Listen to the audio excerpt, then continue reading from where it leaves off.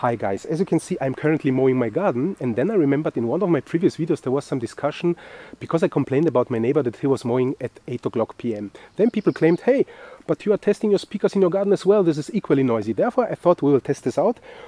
We will check if the speakers have any chance against the noise of a mower. Therefore I will take my headcam, also my binaural microphones. Please grab your headphones as well so that you can hear how it sounds in reality and we will have a listen.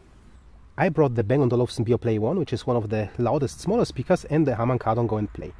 Let's turn it on, and we will hear hopefully if they can drone the mower or not. So I will start the mower now.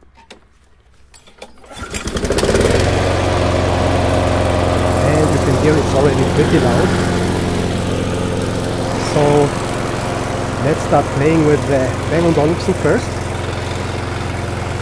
Maximum volume.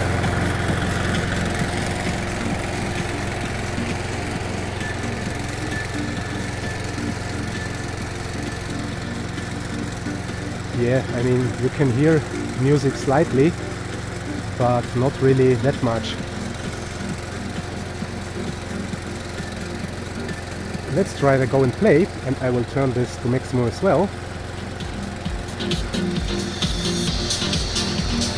Yeah. This one of course has a better chance. Again Beoplay this is maximum, by the way. Yeah.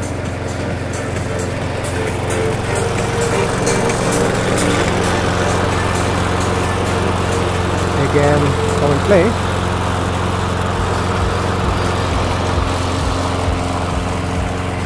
I can hear some bass, but we should maybe turn it around.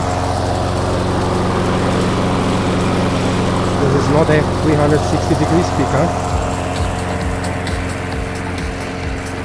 You can hear that the mower is nearly equally loud. This is the Harman Kardon now. The Beoplay is hardly hearable.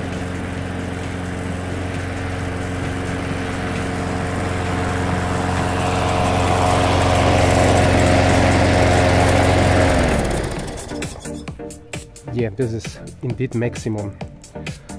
So I think I could prove that even cranking the Bang & Olufsen A1 to maximum uh, doesn't produce such much, much noise as the mower here. Therefore, yeah, only wanted to tell you that I usually don't do any testing in my garden and if then rather on lower levels like this for example. But this wouldn't disturb anyone. So I hope this could give you an idea about noise in my garden and in my neighborhood.